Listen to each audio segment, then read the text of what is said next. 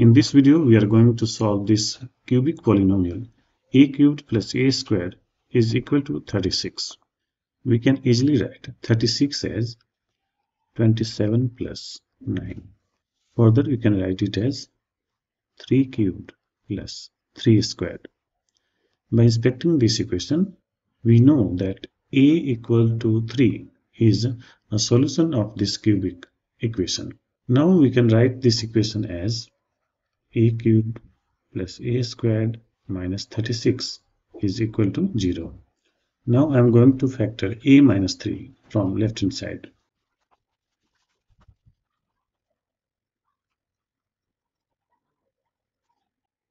We have factored a cubed plus a squared minus 36 as a minus 3 times a squared plus 4a plus 12 is equal to 0.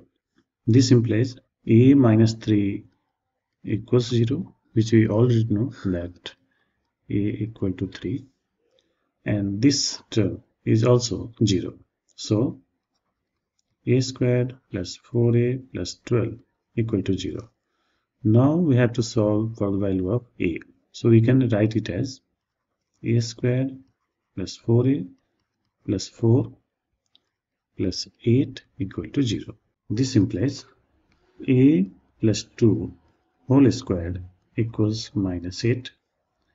This implies a plus 2 is equal to plus minus square root of negative 8 which equals plus minus square root of 8 times square root of minus 1 which equals plus minus square root of 8 times iota. Here iota equals square root of negative 1.